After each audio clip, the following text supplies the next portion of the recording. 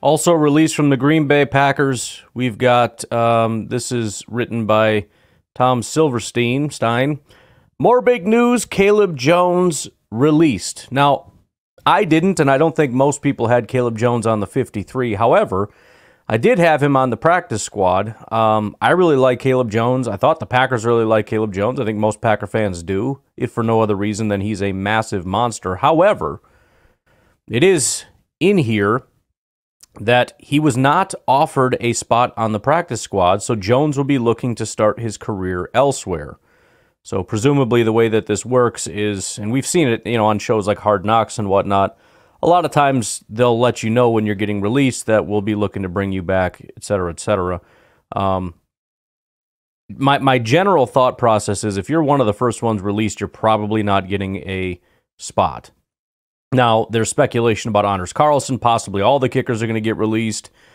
And then that'll open up the opportunity for them to place somebody else on IR um, and then bring him back. I, don't really know. And I don't know why Anders would be released this early if that was the case either way. But speculation as to the fact that maybe that's not necessarily the case. That's also not necessarily the case, the case being not coming back, with Samori Toure. Now, this is one that I think, again, I don't think anybody had him on the 53. Uh, we'd have to check Matt Trombone's site. Maybe somebody did. Um, but there there is some question about whether or not he would be able to be on the practice squad. Um, and we don't know the answer to that. It's not written in here whether or not he's expected to be on the practice squad or not. We will have to find out. My guess is no. Um, similar to apparently Anders Carlson um, I think at some point, you know, everybody's a developmental prospect. You know, when you if you're drafted early, you're expected to play, but everybody essentially when you get picked up is a developmental prospect. The the question is when you've reached a point where we feel like we've developed you as best as we can, can you play for us? And Samori Toure has gotten to that point where he's been here long enough where the Packers probably have a feel of what he's able to do. And if he's hit that point, and I think most of us have seen him now long enough to realize I don't know that there's much growth happening. He's kind of the guy that he is. And that makes him number seven, number eight, whatever number he is in your mind on this depth chart. It's not a number that you feel great about in terms of we need to keep him around to develop him. Now, the, the the practice squad isn't just about development, but I think it's mostly about development. You know, you could look at it and say, well, you want a, a, guy that could potentially be called up. You want a guy that's good for the practice squad for the sake of practicing, whatever the case may be. But I think generally the Packers are going to lean toward um, younger guys like perhaps Stanley, who don't provide what Samori Toure does in terms of just, you know, ability right now and understanding of the offense. And if, you know, would you rather have Toure or Stanley? It's probably Toure. but I think from a developmental standpoint, and, and, Stanley is my pick to be on the practice squad. We'll see how that uh, pans out. I think it's Stanley. I can't remember.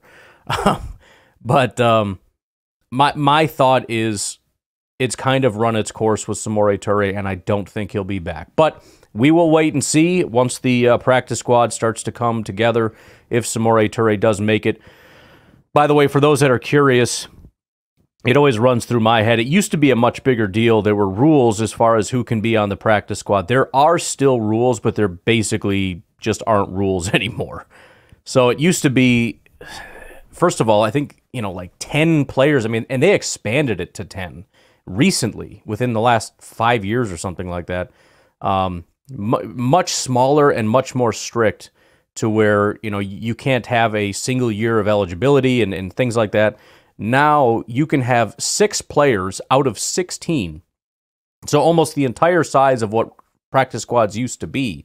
Six players that have no um, eligibility eligibility requirements in regard to um, how many games or years of accrued seasons they have, and then four that can have uh, no more than two years, and then beyond that you can't Don't know, there, there's like two that are okay if they do have an accrued season, but not more than nine games. I mean, they've basically made it where you can put anybody you want on the practice squad, is the point. So if you're concerned about is he eligible, because you're like me, you've been doing this for a while and remember when it mattered, it it's basically doesn't matter anymore. So, uh, Samori is certainly eligible for the practice squad.